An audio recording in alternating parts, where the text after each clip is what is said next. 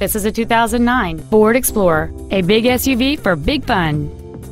The most desirable features on board this Ford include a power driver's seat, cruise control, a four-speaker stereo system, satellite radio, side curtain airbags, an anti-lock braking system, and this vehicle has fewer than 17,000 miles on the odometer. It features a 4.0-liter six-cylinder engine and a five-speed automatic transmission. Stop by today and test drive this SUV for yourself.